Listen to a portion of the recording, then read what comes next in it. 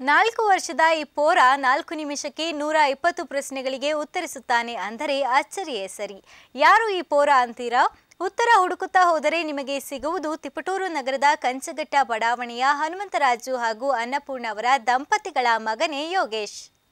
ಈತನ ವಯಸ್ಸು ಈಗ ನಾಲ್ಕು ವರ್ಷ. ಆದರೂ ಇವನ ಜ್ಞಾಪಕ ಶಕ್ತಿ ಅಪಾರ. ಕೇವಲ ನಾಲ್ಕು ವರ್ಷಕ್ಕೆ ಸುಮಾರು ನೂರ ಇಪ್ಪತ್ತಕ್ಕೂ ಹೆಚ್ಚು ಸಾಮಾನ್ಯ ಜ್ಞಾನಕ್ಕೆ ಸಂಬಂಧಿಸಿದ ಪ್ರಶ್ನೆಗಳಿಗೆ ಉತ್ತರಿಸುವ ಈ ಪುರಾತನ ಒಂದೂವರೆ ವರ್ಷಕ್ಕೆ ಮಾತು ಕಲಿತ. ಈ ಪುಟ್ಟ ಬಾಲಕ ಇದೀಗ ಕಿಂಡರ್ ಕೇರ್ ಹೋಮ್ ಸ್ಕೂಲ್ನಲ್ಲಿ ಎಂ ಟು ತರಗತಿಯಲ್ಲಿ ಓದುತ್ತಿದ್ದಾನೆ. ಬಾಲ್ಯದಲ್ಲಿಯೇ ತನ್ನ ತಂದೆ ತಾಯಿ ಹಾಗೂ ತನ್ನ ಅತ್ತೆ ವಿಜಯ ಇವರ ಆರೈಕೆಯಲ್ಲಿ ಬೆಳೆದ ಈತ, ತನ್ನ ಅತ್ತೆ ವಿಜಯ ಅವರಿಂದ ಇಂದು ಸುಮಾರು ನೂರ ಐವತ್ತಕ್ಕೂ ಹೆಚ್ಚು ಪ್ರಶ್ನೆಗಳಿಗೆ ಉತ್ತರಿಸುವ ಸಾಮರ್ಥ್ಯ ಹೊಂದಿದ್ದು. ಕೇವಲ ನಾಲ್ಕು ನಿಮಿಷದಲ್ಲಿ ನೂರ ಇಪ್ಪತ್ತು ಪ್ರಶ್ನೆಗಳಿಗೆ ಉತ್ತರಿಸುತ್ತಾನೆ ಎಂದರೆ ನಂಬಲ ಸಾಧ್ಯ. ಚಂದ್ರಗುಪ್ತನ ರಾಜಧಾನಿ ಯಾವುದು? ನವಕೋಟಿ ನಾರಾಯಣ ಅಂತ ಯಾರಿ ಬಿರುದು ಬಂತು? ಕರ್ನಾಟಕದಲ್ಲಿ ರೈಲು ಸಂಪರ್ಕ ಇಲ್ಲದ ಜಿಲ್ಲೆ? ರಾಷ್ಟ್ರೀಯ ಹಾಡು ಯಾವುದು?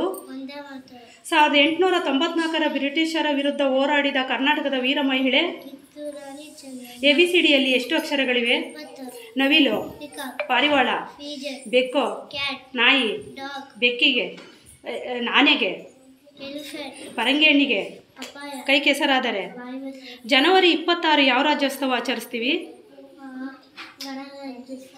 ಕ್ಷೇತ್ರ ಶಿಕ್ಷಣ ಅಧಿಕಾರಿ ಆಫೀಸ್ ಯಾವುದು? ಕರ್ನಾಟಕ ರಾಜ್ಯ ರಸ್ತೆ ಸಾರಿಗೆ ನಿಗಮ ಅಂದರೆ? ತೊಗರಿಬೇಳೆ ತೊಗರಿ ಬೆಳೆ ಬೆಳೆಯುವ ಪ್ರದೇಶ ಯಾವುದು? ಕಲ್ಲಂಗಡಿ ಹಣ್ಣಿಗೆ ಏನಂತೀಯ? ಒಂದೇ ಮಾತರಂ ಬರ್ದಾರೆ ಯಾರು? ನಮ್ಮ ರಾಷ್ಟ್ರೀಯ ಹಬ್ಬಗಳು ಯಾವುವು? ನಾಡಗೀತೆ ಬರ್ದಾರೆ ಯಾರು? ಗಡಿ ಪ್ರದೇಶವನ್ನು ಕಾಯುವರು? ಗಾಂಧೀಜಿಯ ತಂದೆ ತಾಯಿ ಹೆಸರು ಏನು? ಧಾರವಾಡ ಏತಕ್ಕೆ ಪ್ರಸಿದ್ಧ? ಅತಿ ಹೆಚ್ಚು ಗಂಧದ ಮರ ಬೆಳೆಯುವ ರಾಜ್ಯ ಯಾವುದು? ಕರ್ನಾಟಕ ಅಕ್ಕಮಹಾದೇವಿ ಅಂಕಿತನಾಮ. ಭಾರತದಲ್ಲಿ ಅತ್ಯಂತ ದೊಡ್ಡ ಪ್ರಶಸ್ತಿ ಯಾವುದು? ಭಾರತದಲ್ಲಿ ಮೊದಲ ಚಿನ್ನದ ಗಣಿ ಕರ್ನಾಟಕದ ಮೊದಲ ಪತ್ರಿಕೆ ಯಾವುದು? ಭಾರತದ ಪ್ರಮುಖ ವೃತ್ತಿ ಯಾವುದು?